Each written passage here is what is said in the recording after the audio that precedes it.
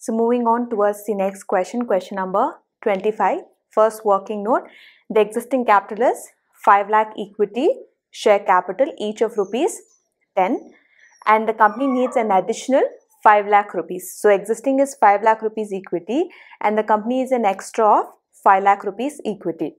So plan 1 is complete equity. So plan 2 is half again there's a combination of equity as well as preference here. So 25,000 question says 25,000 equity shares in equity. Okay, 25,000 equity shares under uh, equity capital. So I'm going to take 25,000 multiplied by 10. So I get 2,50,000 as the total equity capital. How much do I require? 5 lakh. How much does equity make? 2 lakh 50. So what is the balance here? 5 lakh minus 2 lakh 50 remaining is 2 lakh 50,000 which is to be raised under 10% preference share capital. So my second plan is a combination of equity as well as preference. So I need to calculate my preference dividend here 10% on 2 lakh 50. Again don't make a mistake of calculating on 5 lakh rupees. You have to calculate on on preference capital. How much is preference capital here? 2 lakh 50. So my answer is 25,000. Moving towards my third uh, plan, it says equity same 25,000 equity shares of rupees 10 that will make up to 2 lakh 50,000 rupees.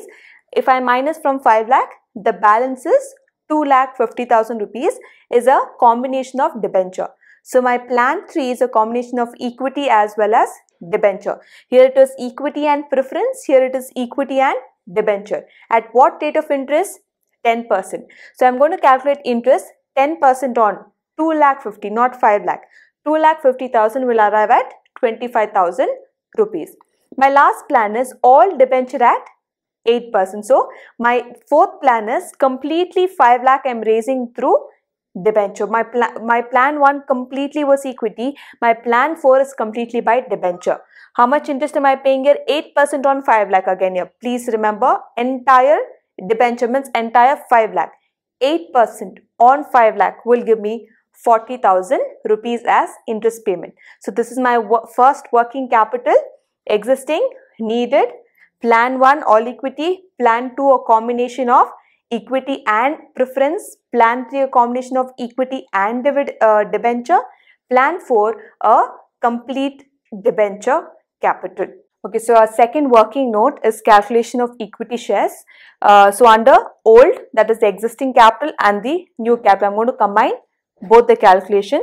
So under plan 1, old, we have 50,000 equity shares. Remember, as we are reading the first line of the question, we read 50,000 equity shares each of rupees 10 correct so that 50000 equity shares under old or existing capital will remain common for all the four plans, plan 1, 2, 3 and 4 that remain common. So looking at the new plans, the first plan was again to raise the next uh, 10 lakh rupees or the 5 lakh rupees through equity, all equity. So again it comes back to 50,000 equity shares.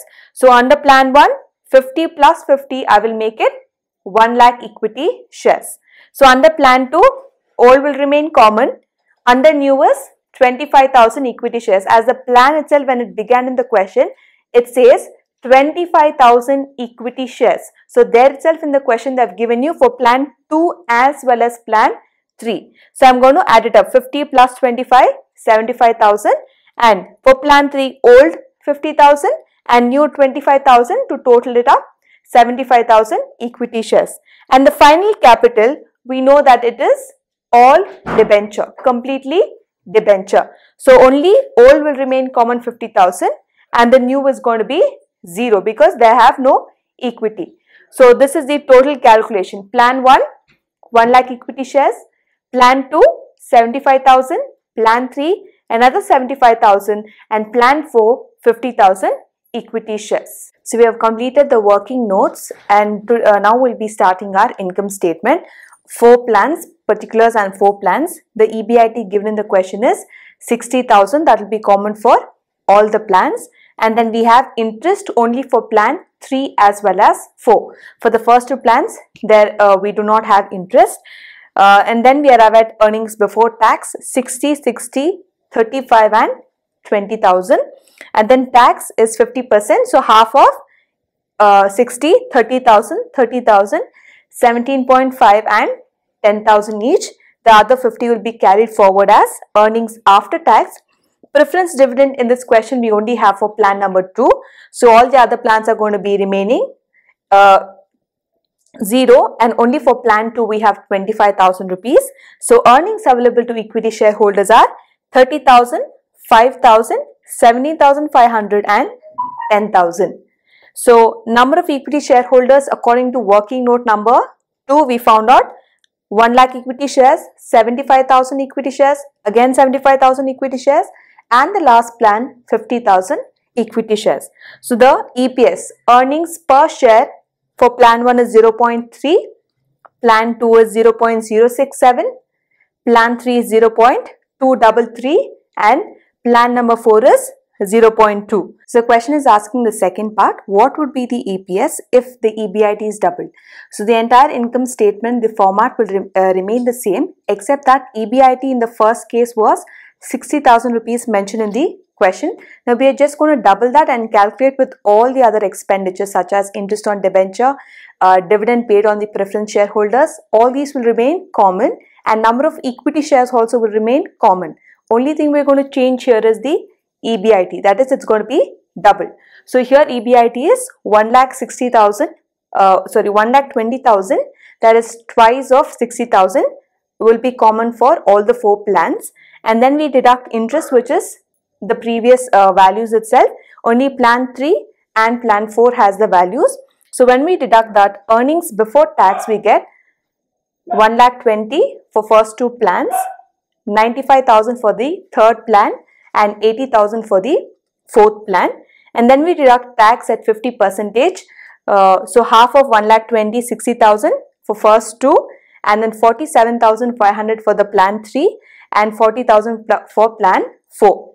So that we deduct, we get the value of earnings after tax. And then we arrive at preference dividend. Only plan number 2 has preference dividend. Plan 1, 3 and 4 does not have preference dividend. So we arrive at earnings available to equity shareholders. Plan 1 is 60,000, plan 2 is 35,000, plan 3 is 47,500 and plan 4 is 40,000. So number of equity shares will remain common as we have done in working capital number 2, 1 lakh, 75,000, 75,000 and 50,000. So here we're going to see the EPS. So if the question is asking us if in case the EBIT that is the profits are doubled from 60,000 to 1 lakh 20 what would be the impact on the earnings? So one equity shareholder or per equity shareholder what would be his share of income or his share of profit. So here we have found out it is 0.6 for first plan, 0.46 for the second plan and 0.63 for the third plan and 0.8 for the last plan. So this is the uh, implication when EBIT is doubled and its impact on the EPS.